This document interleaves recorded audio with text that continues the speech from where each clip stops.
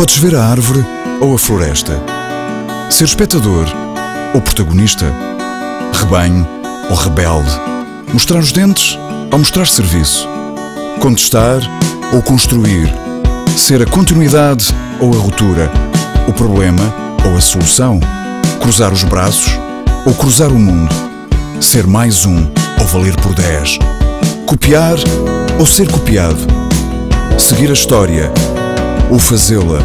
Podes querer o peixe ou a cana, a decisão é tua. De que tamanho queres o mundo?